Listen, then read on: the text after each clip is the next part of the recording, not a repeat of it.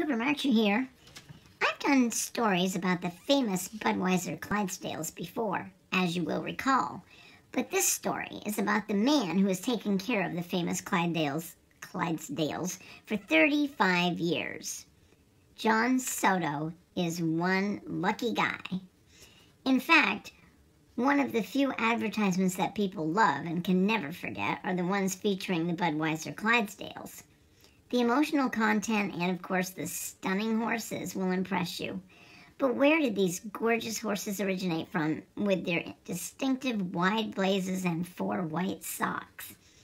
For these foals to grow up and act in everything from parades to commercials, extra care must be given, not just during breeding, but also during socializing.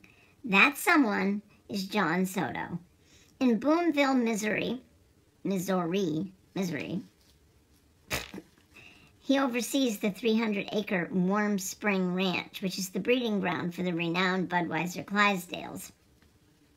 If you recall earlier, I did a story about that facility. But for the past 35 years, Soto has helped maintain their stunning stock and made sure that every foal is born foal is born healthy. He's helped to raise 400 to 500 Clydesdale horses over that time, Additionally, he takes care of the retired horses that have worked in harness.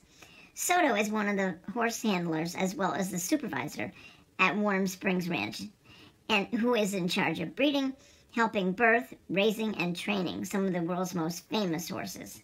According to the Columbia Tribune, he is one of the people responsible for the upbringing of these iconic horses that rose to fame some 30 years ago and have become a part of the company's lineage. Soto received the call to join the Budweiser Clydesdales team when he was only 21 years old. He didn't have to think twice about dedicating his life to one of the most recognized symbols in the world. When they join one of Budweiser's three traveling teams, it will be his responsibility to see to it that they are properly raised so that they can perform as expected. And even if these young horses have attitude and sass, Soto treats them with all with kindness and compassion.